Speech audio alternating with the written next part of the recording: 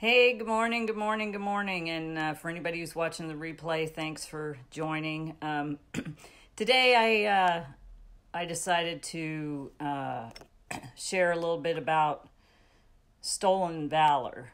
And, well, not really stolen valor. I mean, I had started to um, want to share about uh, about wear the military uniform because I see so many people out there inappropriately wearing the the um, military uniform. And as a retired Air Force veteran of 23 years, I wanted to address it because Veterans Day is coming up and Halloween's just around the corner for those who celebrate that. People dress up in costumes and that. Um, sometimes people go to veterans events and they're not a veteran and they wear a uniform just to support the veteran. And so I just wanted to talk and address about that um, the proper wear of the uniform. And when I started to do some research about this, you can actually look down, uh, look at the blog. There's also um, a blog on eldonnalewisfernandez.com slash blog where it's uh, Mastery Monday. I did a whole blog post about this where I go into a lot of detail about the regulations and the statutes and su- such with regard to uh, uniform wear. And I just specifically did the Air Force because I was Air Force veteran. Uh, I'm an Air Force veteran and I served in the Air Force. Each service has their own individual um, regulation. In the Air Force, it's Air Force Instruction 362903. Um, before that, it was uh, Air Force Reg 3510.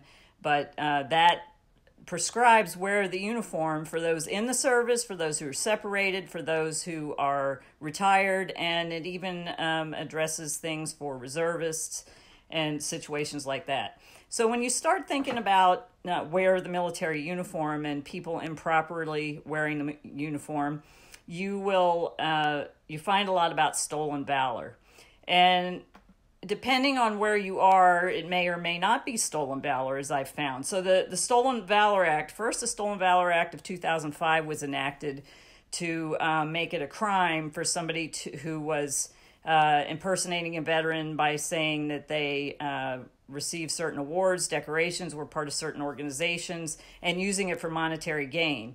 Well, that actually got shot down in 2012 when uh, somebody named Xavier um, Alvarez in California was busted for stolen valor because he was claiming to be a retired uh, Marine Corps veteran, saying he served in Iraq and had Purple Heart or whatever. You can look on the blog and see the article about that. He was busted for stolen valor, and because of that, he went uh, and actually complained about it and uh, actually took a case to the Supreme Court, which the Supreme Court shot down the Stolen Valor Act of 2005.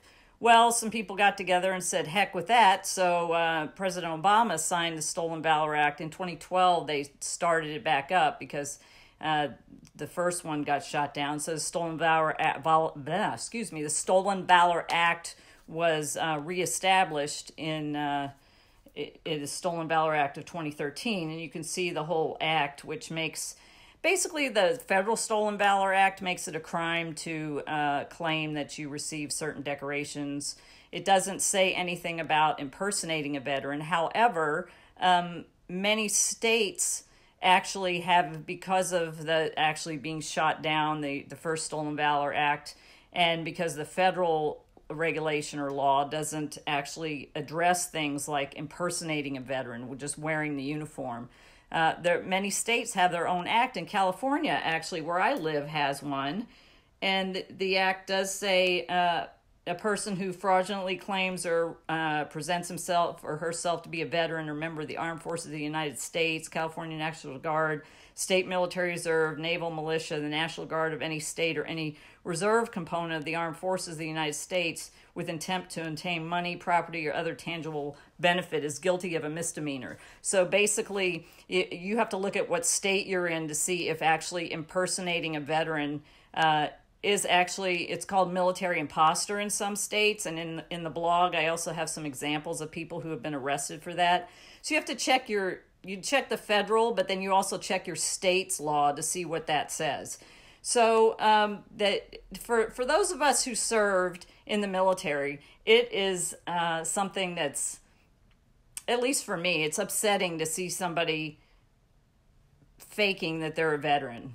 You see a lot of, um, and we know of stories of homeless people that are out holding a sign saying a veteran, and um, a lot of them aren't.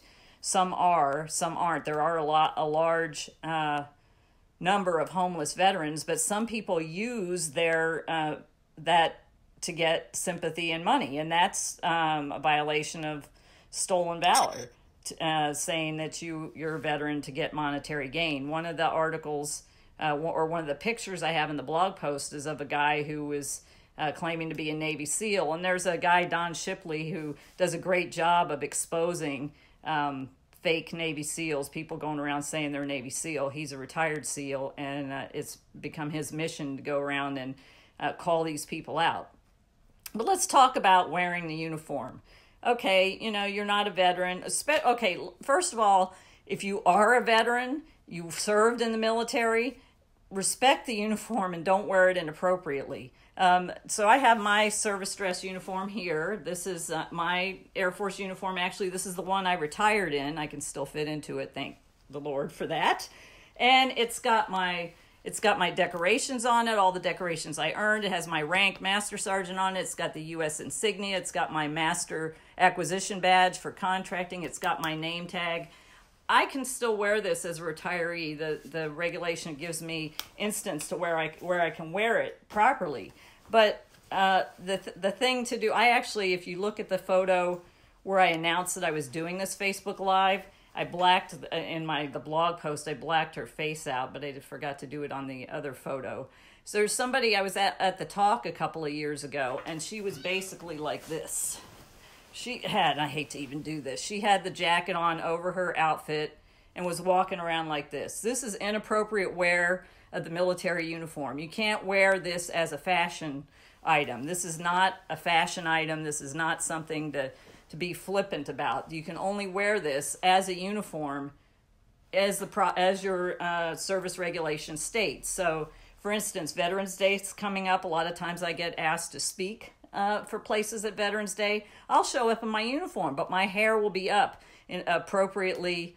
Uh, I'll be appropriately dressed. I'll have my nails conservative because a lot of times you see me wearing wearing a little um, Kenya flag or something on my nails. That's not conservative and that's not within military regs. So if I'm going to go speak on behalf of my military service, I'm going to wear my uniform appropriately. That means hair up off of my collar, hair out of my face. I can't be looking like this all fashionable and stuff.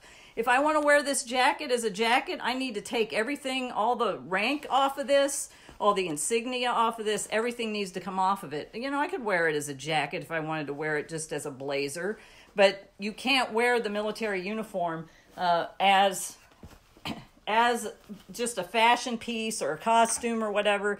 It's disrespectful to those of us who uh, served. You know, some time ago it wasn't that big of a deal, but after 9 11 happened and there's so many people that got on the bandwagon of, I'm going to say I'm a veteran so I can get some money. We take it very seriously when you when you see people doing that. So if you want to wear camouflage pants, go ahead and wear them. If you want to wear the camouflage jacket, take the rank off, take anything off the insignia, the patches, anything that makes it a military um, item. I've had this, this is a Gore-Tex jacket that was issued to me in the military when I was uh, stationed in England. And what made it a military uniform was I would put my rank right here. Actually, I think I have the rank in my, in the pocket here somewhere because I just still keep it. So I, I wear this. Like I went on a trip to Ireland and I wore this over my clothes. But I took this off. This is my master sergeant rank. It makes it a, it made it a uniform. Um, this this pattern is no longer um, active in the military, but it's still this would make it a uniform. So I need to take that off if I want to wear this.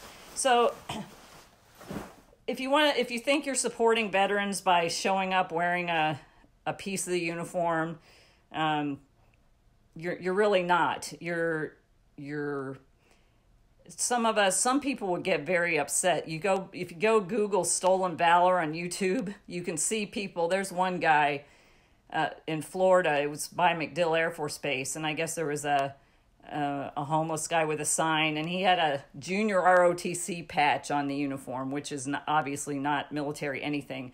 So he was impersonating a veteran for financial gain. And this guy is telling him, You take my uniform off. I mean, the bottom line is people died for this uniform. We all took an oath to support and defend the Constitution of the United States against all enemies, foreign and domestic. And uh, some of us even went further and joined the elite forces like special forces, Navy SEALs, um, any kind of any kind of special forces unit where you had to go through extra training to do extra type of uh, elite type duty, and to impersonate somebody or to just say, "Oh, I'm just here supporting a veteran." Yeah, there's a certain thing that goes with taking that oath and, and taking on that way of life. I served 23 years and I had to sacrifice, and so did my my children. They sacrificed as well because they had to have their both their parents because my ex-husband uh, when we were married he's he's military retired also so my kids had to put up with temporary duties deployments uh, not like when i deployed i couldn't tell them where i was going i couldn't talk to them for a couple of weeks it wasn't like it is now where there's so much internet and it's easy to to uh, to converse. But you you uh, we all sacrificed and we were willing to die for the freedoms that we have. So if you really want to thank a veteran for their service, don't wear our uniform like it's just a fashion statement or a piece of clothing or something. It's not cute. It's not fashionable. It's not something that that any veteran is going to appreciate. So I just wanted to share a little bit um, uh, about that. Uh, just this Veterans Day coming up, uh, you may see people. And interestingly enough, when I went to that uh, the show, the talk, there were all kinds of people there wearing all kinds of different military uniform combinations. And I'm not real sure why uh, why people are thinking that that's that's okay. Uh, I don't think enough people are speaking up. So I just thought it was really important for me to speak up and um, share from a veteran's perspective that this this really isn't something that should be worn flippantly or worn as a fashion statement or worn especially to impersonate a veteran or to get financial gain. The, for those who do that, they will be found out. But for those who are are not veterans and think that you're doing something to honor veteran service, this this is not something that you put on and just wear around like, oh, okay, I'm supporting a veteran. Yeah, okay. Wear wear a hat, put on a t-shirt. You want to wear camouflage pants, you want to wear military boots or whatever. No big deal, but you don't want to wear a whole uniform with the rank, the insignia, uh, the patches, any of the unit identifying information, anything on there. And if you're not on active duty or wearing the uniform in accordance with your services regulation that shows you how you can actually wear it as a separated veteran, as a retiree, as a reservist. Even there's even provisions in uh, the Air Force regulation about uh, wearing the the uniform as far as being an actor, as long as it's not br- being bringing discredit to uh, military service, it can be done. So Thanks for watching. If you want to read more, go to eldonnalewisfernandez.com on the blog. I'll also put it in the uh, in the comments here on this video. Uh, appreciate you liking it, making a comment, uh, tell me what you think, sharing it on your uh, your own personal feed, so we can get this message out. So when, as we're approaching Veterans Day, that uh, more and more people understand the importance and the honor of wearing the military uniform. So uh, have a great Monday, and I salute you. Eldonna Lewis Fernandez, Master Sergeant, United States Air Force retired, signing out.